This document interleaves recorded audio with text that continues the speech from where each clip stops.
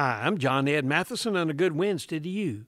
Johannes Fritz is an Austrian biologist who claims that he does not simply have a job, but he's found his life's purpose. He's working with the endangered northern bald ibis, teaching them to fly south for the winter over the Alps.